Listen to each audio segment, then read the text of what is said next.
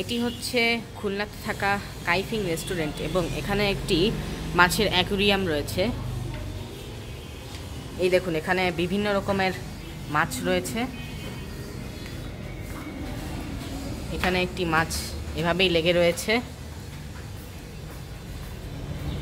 এবং বিভিন্ন রকম মাছ এর মধ্যেই সাঁতার কাটছে।